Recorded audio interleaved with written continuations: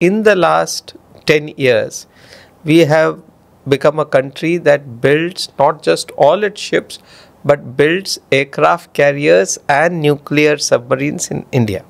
Now, this is a select group of about half a dozen countries.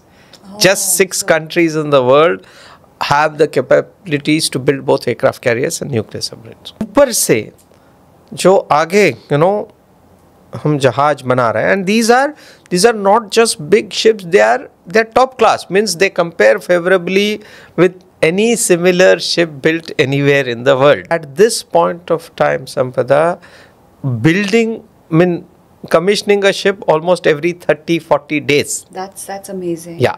So over the next 4 or 5 years we're going to add 50 ships. Hmm. All of them are being built in india.